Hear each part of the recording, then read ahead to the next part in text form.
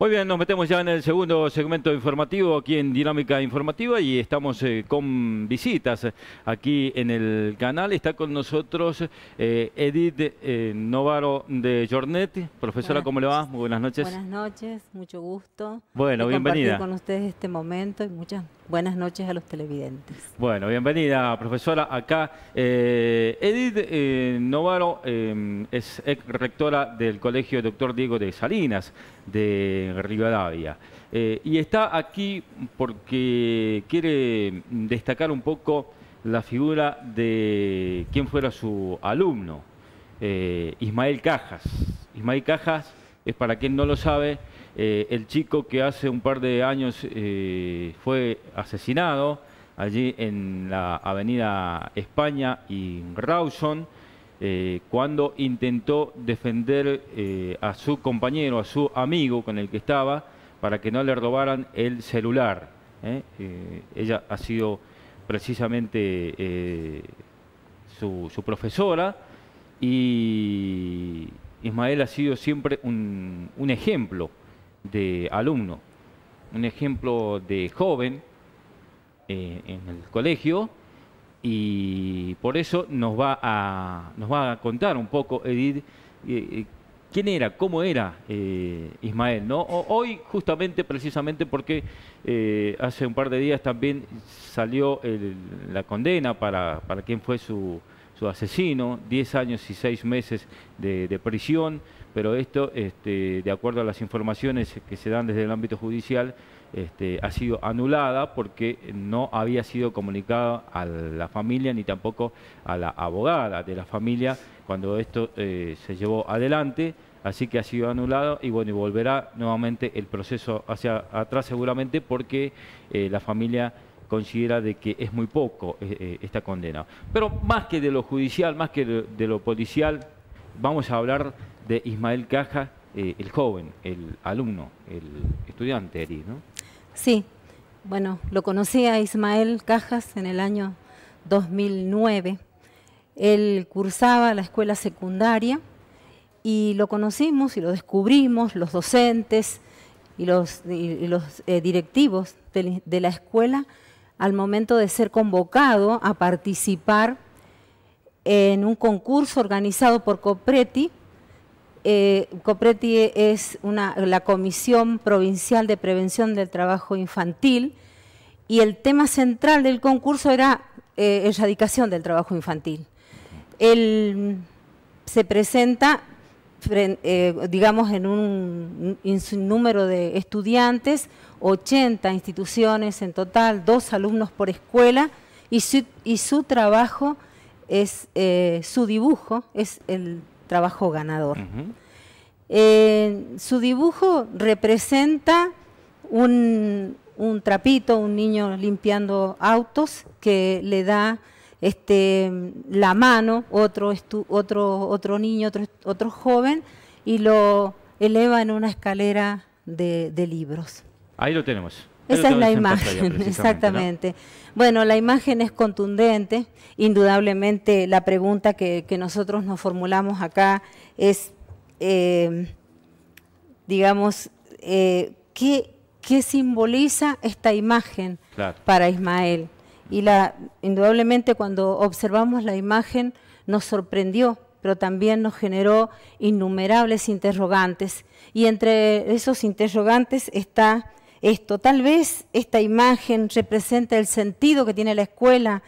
Eh, ¿Será que para Ismael el tiempo en la escuela es ese espacio ideal que transforma, que libera, que concientiza, que propone posibilidades y que también permite una apertura mayor al mundo de la cultura, que ofrece perspectivas? Seguramente todos estos interrogantes tienen la respuesta en este dibujo, en esta imagen. Pero también quizás la imagen significa que él le está gritando a la sociedad que, ve y que a veces silencia, ¿no? Ve todo esto y, y silencia esta explotación.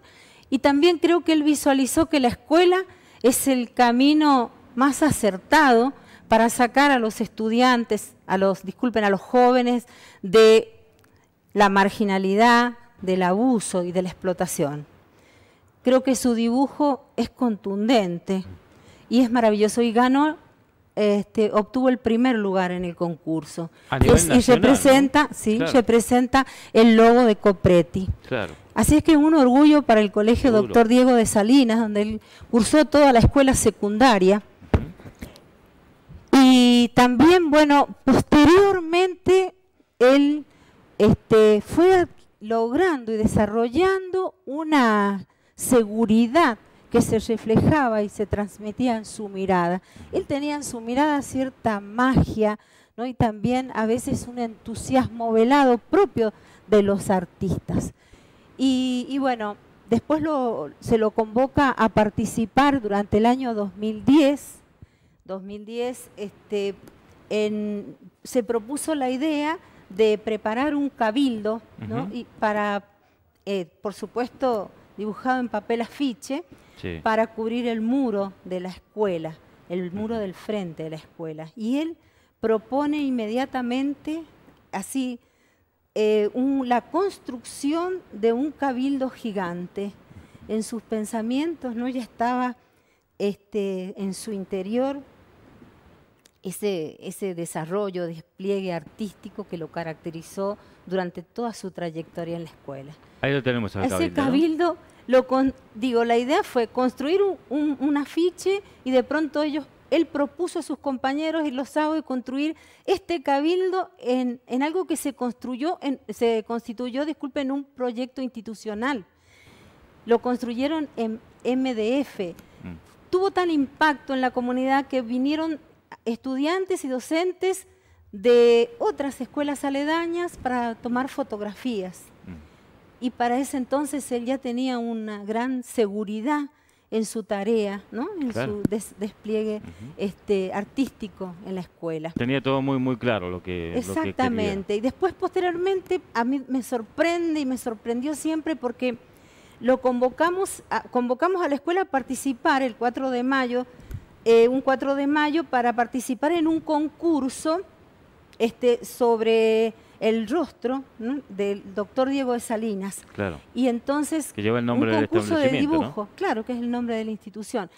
El modelo de inspiración que tenían era una gigantografía, una carbonilla, donada por Santiago Paredes, el artista sanjuanino, y también la biografía del prócer. Él tuvo una idea genial convocó a sus compañeros a participar y organizó una galería de arte en el muro de ingreso de la institución, con distintos rostros de don Diego del doctor Diego de Salinas y también los enmarcó en cartulina marrón. Fue un trabajo maravilloso. Ahí creo que tenemos también la, imagen de... y bueno, y nuevamente nos sorprende porque él tenía este desarrollo de creatividad indiscutible, que es indiscutible, pero la escuela potenció esto que él traía, ¿no? Él tenía estas cualidades, estos talentos. Y después, posteriormente, lo convocamos, convocamos a todos los estudiantes a participar en, una, en la construcción de mm, una en este caso era una nota para el diario El Pizarrón de Bolsillo, que es un diario que se confeccionaba desde, la, desde el CAJ, el Centro de Actividades Juveniles. Entonces el tema central era cómo sería nuestro prócer, Domingo Faustino Sarmiento, en la actualidad. Entonces él, este, digo, eh, los alumnos, un grupo de alumnos, eh, es el, elaboran el artículo y él le pone la imagen ¿no? a este artículo. Y entonces, ¿cómo sería Sarmiento hoy en la era de las comunicaciones? Y él, digo yo, seguramente pensó que Sarmiento, ¿no? Eh, que fue el promotor de las comunicaciones y que logró comunicar, comunicar eh, con Europa, Argentina con Europa a través del cable transoceánico, ese promotor de las comunicaciones, él lo ilustra de jean y con una netbook. Para ese entonces en la escuela ya se lo conocía como el pintor, el caricaturista, eh, como el dibujante, como el artista, tenía un reconocimiento de todos sus, de todos sus compañeros. Ahí creo que tenemos eh, la, la, imagen también, la foto del diario Ay, a ver la eh, foto con Sarmiento. Ahí está. Esa es la imagen, ¿no? La contratapa. De, Exactamente, ahí está, Sarmiento del jean y con una netbook. con una netbook y con auriculares, bueno, sus condiciones son irrefutables, pero la escuela potenció esas condiciones, porque él tuvo la oportunidad de encontrarse con docentes, ¿no? con docentes que tenían gestos y actitudes que promovían un encuentro entre personas y no una simple rutina pseudoeducativa. La escuela potenció todo esto porque sus docentes así lo lograron. Y el punto de convergencia de todo esto fue el arte, las artes visuales y principalmente ahí el dibujo y la pintura. Sí, sin duda. Eh, este es mi homenaje a Ismael. Eh, tenemos innumerables anécdotas, pero creo que fue un genio, un pequeño genio que dejó una huella profunda en el Colegio Doctor Diego de Salinas. Este es mi homenaje y y bueno, y lo quería, quería realizar este relato porque lo recuerdo siempre con mucho cariño, porque fue un alumno destacado, que era un pequeño genio que trasciende en su obra. Sin duda. Tenemos algunas imágenes también, algunas fotos de, Ismael para que la gente lo, reconozca, porque bueno, este, estuvo en todos los medios, lamentablemente por, por este eh, final que tuvo. Eh, sí, un día lo asesinaron. Un futuro frustrado, ¿no? Porque Exactamente soñaba con ser médico. Tenía muchos proyectos, exactamente, sí. Ya vamos ahí, está, ahí, está, Ismael, ¿no? Para quien este, no, no lo conoce, eh, un chico con enormes condiciones, ¿no? Además, una gran persona, un gran chico, un ejemplo para todos. Fíjese que muchas veces yo temía, no sé, que toda su situación a veces este, lo dejara fuera, ¿no? Mm, del, del sistema escolar. Sin embargo, él este, se mantuvo en la escuela, porque también eh, la escuela le ofrecía un clima institucional donde tenía pertenencia, reconocimiento, sobre todo, y significatividad. Entonces él, ahí está Ismael, ¿no? Estaba tan Ahí está con, sí, con, la, con sus amigos, ¿no? La última noche precisamente, con sus compañeros. Eh, este, una, una, una gran pérdida, ¿no? este, Y... Ya es más grande en esa foto. Nosotros tenemos unas fotos maravillosas de él en la escuela.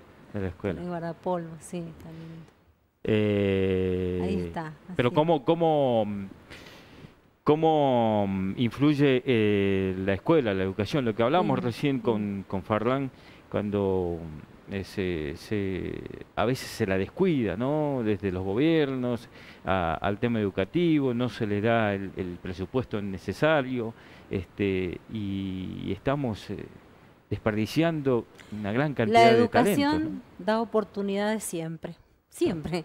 Esto es indiscutible, por lo tanto, es lo que hay que defender claro. y cuidar.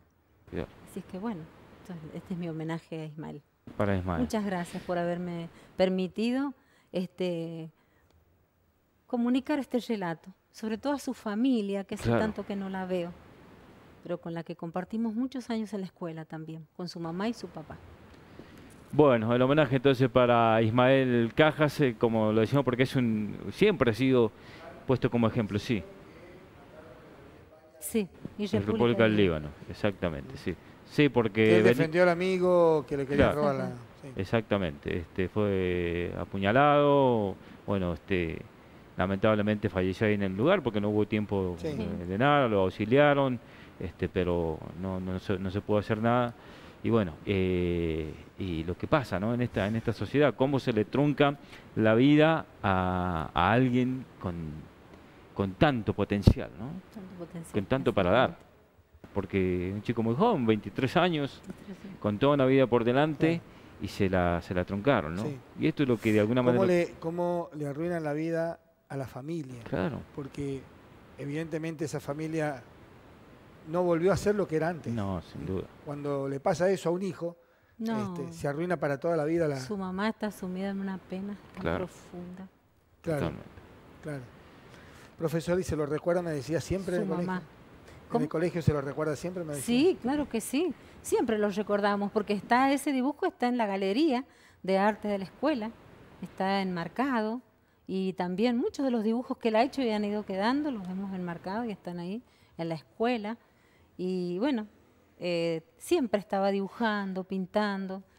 Eh, Tenía un gran futuro, ¿no? Un gran futuro, digo, en el, en el tema. ¿Qué, Sí, qué quería estudiar? ¿Qué seguro. quería hacer él de grande? ¿No dijo eso? Quería ser médico. Médico. Sí, sí, sí. Quería estudiar estaba en medicina. la búsqueda de un trabajo también. Claro, en un también, momento sí. me lo encontré y me comentó Sí. que estaba en la búsqueda de un trabajo para poder estudiar. Porque a veces la adversidad era difícil para Sí, él seguro. estar con No todo contar lo con que todos los recursos, claro, sí. claro.